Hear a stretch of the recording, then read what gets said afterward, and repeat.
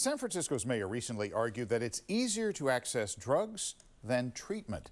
Facing the worst drug crisis in the city's history, the mayor has said no more handouts without mandatory treatment. ABC 7 News reporter Leanne Melendez is here to tell us that in reality, mm. it can really be challenging to offer treatment without the necessary staff and beds. Yeah, where's the staff? Mm. You know, and, and we need more beds, and they're not being filled really. And, and they're so very necessary. We need that treatment because when it comes to the drugs that are out on the streets, Fentanyl is perhaps the hardest one to get off. Now, two weeks ago, the mayor said that 80 people were approached and asked if they wanted treatment on demand, and only one person said yes.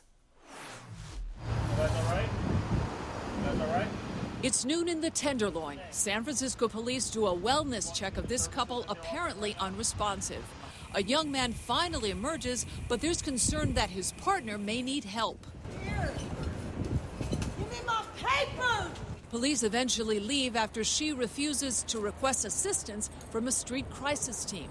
For years, treatment for drug users and those needing mental health care has been the focus of conversation among city officials. Our goal, as I said, is consistently to get people into treatment and support that they need. Let's focus on first recovery. And they're the ones who are most at risk for fatal overdoses.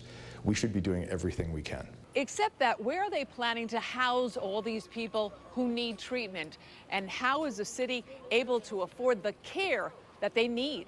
This is the Harbor Light Withdrawal Management Program. There's a total of 40 beds. Of the 40 beds, 10 are funded by the San Francisco Health Department and 5 by the Adult Probation Department. Their community partners sponsor another 5. That leaves 20 empty beds. So you're saying that there are 40 beds here and the health department funds only 10 when they could be funding more. Correct. We have. Why don't they? It's a good question. The same question that Supervisor Catherine Stefani asked the health department during a recent hearing. And I'm just wondering, I know that there's 20 uncontracted withdrawal management beds at Harbor Light, and wondering if DPH has considered purchasing those. I think we're looking at multiple options, uh, including that. According to Harbor Light, if the health department were to fund those 20 extra beds, there would also be extra revenue to hire more staff to meet the demand for care, kind of like the chicken and the egg. As of today, those 20 beds are not being used.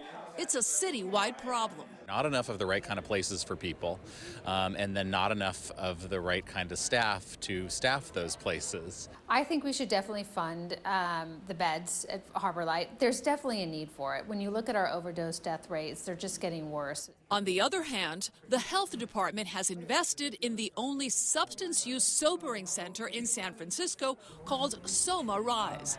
Coincidentally, the number of beds available there is 20.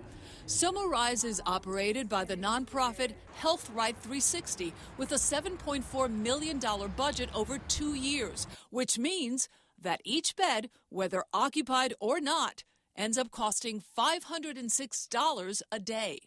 Harbor Light points out that each bed in their withdrawal management program operated by the Salvation Army costs the city $110 a day. They work hand in hand, but they're not the same. The health department has a point. Harbor Light takes in people who have already made the decision to get clean, and they support them through that rough period.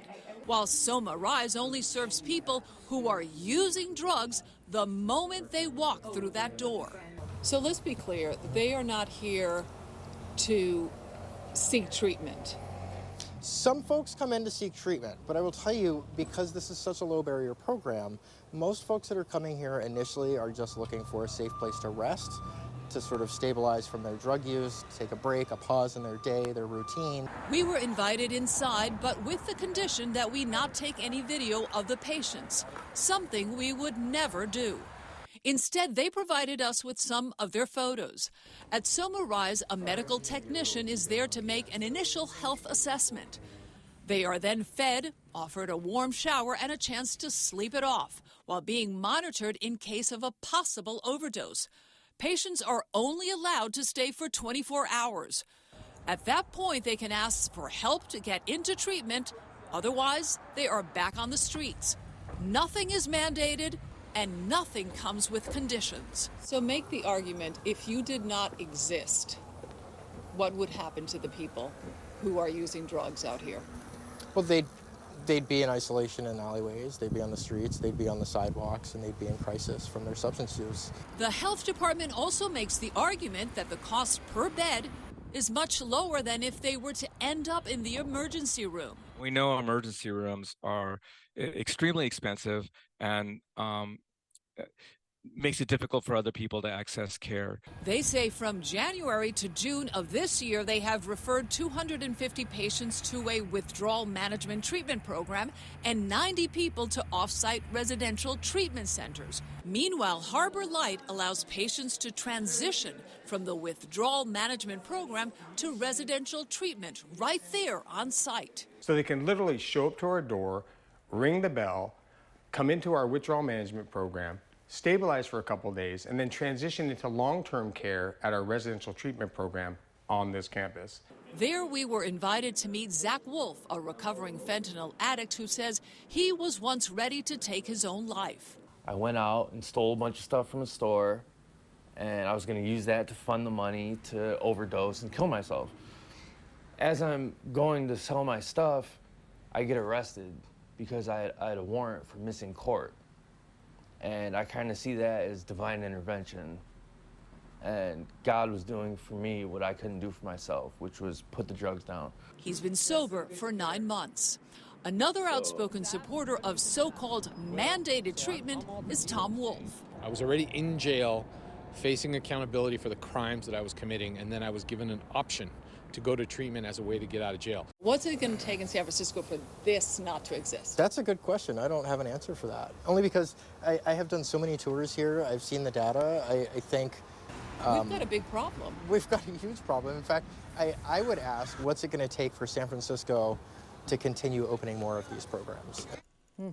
Now, keep in mind that San Francisco is currently spending $650 million a year to fund these health programs, which includes substance use and addiction. This has to be the most challenging moment in San sure. Francisco. I mean, these drugs are After so spending pervasive. two days out there. And we're spending a fortune, and it's Mhm. still a terrible problem, and there's no end in sight. Great report. Thank you. Thank you.